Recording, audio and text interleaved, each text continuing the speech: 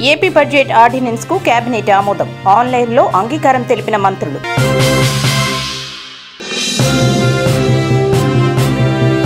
దుష్ట సాంప్రదాయానికి జగన్ శ్రీకారం చుట్టారు. బడ్జెట్ ఆర్డినెన్స్ పై యనమల ఆగ్రహం. టీడీపీకి కట్టపురమించిన మించిన బానిస. నిమ్మగడ్డపై విజయసాయిరెడ్డి సెటైర్లు.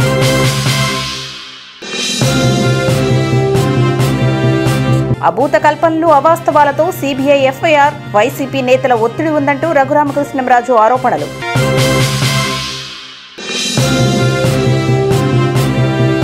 తిరుపతి లోక్సభ కాంగ్రెస్ అభ్యర్థిగా చింతామోహన్ అధికారికంగా ప్రకటించిన ఏఐసీసీ.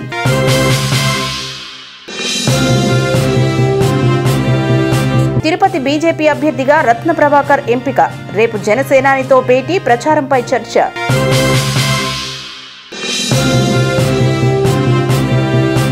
ఏపీలో భారత్ బంద్కు అన్ని పక్షాల మద్దతు. డిపోలకే పరిమితమైన బస్సులు స్తంభించిన రవాణా.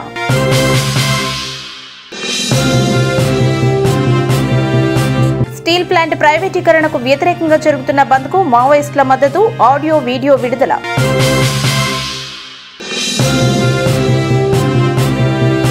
రాజధాని కేసులపై మళ్ళీ మొదటి నుంచి హైకోర్టులో విచారణ. జస్టిస్ మహేశ్వరి బదిలీతో మళ్ళీ వినాలని నిర్ణయం.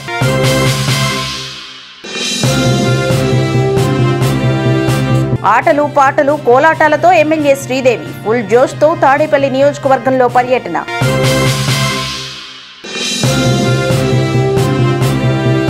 తెలంగాణలో లాక్డౌన్ ఉండదు అసెంబ్లీలో తేల్చి చెప్పిన కేసీఆర్.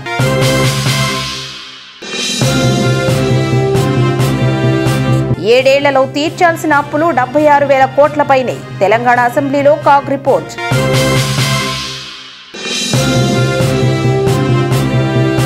సభకేరారు. పైగా మైకు ఇవ్వలేదని గొడవ చేస్తారు. ప్రతిపక్ష ఎమ్మెల్యేలపై తలసాని సెటైర్లు.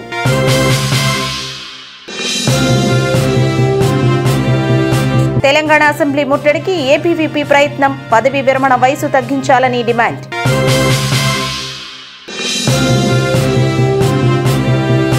ముగిసిన తెలంగాణ బడ్జెట్ సమావేశాలు అసెంబ్లీ నిరవధిక వాయిదా.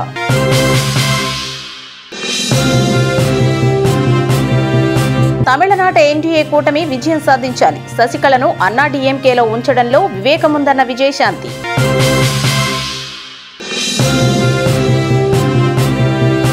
ఇచ్చిన మాటకు కట్టుబడి ఉండడం తెలియదా? ఎంపీ అరవింద్ పై వైఎస్ షర్మిల పరోక్ష వ్యాఖ్యలు.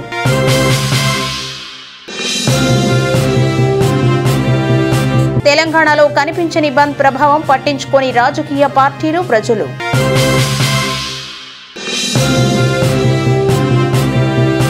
అమెరికాతో కయ్యానికి కాలు దువ్వుతున్న కిమ్ మరోసారి క్షిపణి ప్రయోగం నిర్వహించిన ఉత్తర కొరియా.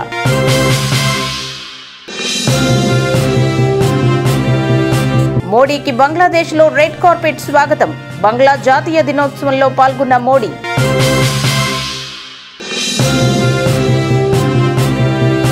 అస్వస్థకు గురైన రాష్ట్రపతి రామ్నాథ్ కోవింద్ ఆర్మీ ఆసుపత్రిలో చికిత్స.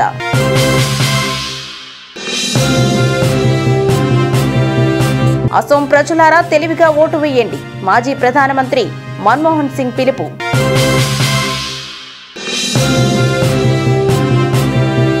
రేపు పశ్చిమ బెంగాల్లో తొలి విడత ఎన్నికలు. అన్ని ఏర్పాట్లు పూర్తి చేసిన ఈసీ.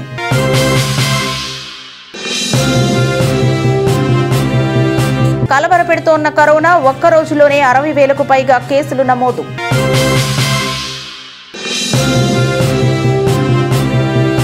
రెండవసారి విజృంభణకు టీకానే విరుగుడు. లాక్డౌన్తో ఉపయోగం ఉండదని తేల్చేసిన ఎస్బీఐ నివేదిక.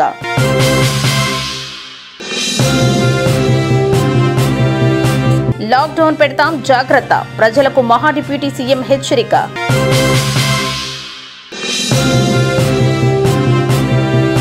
మరోసారి భారత్పై అక్కసు వెళ్ళగక్కిన చైనా క్యాట్ కూటమిని వ్యతిరేకిస్తున్నట్లు డ్రాగన్ దేశం ప్రకటన.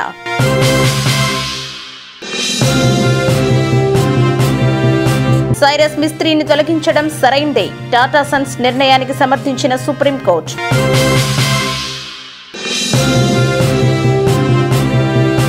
ఏప్రిల్ నాలుగు వరకు బ్యాంకులకు వరుస సెలవులు. మధ్యలో పనిచేసేది రెండే రోజులు.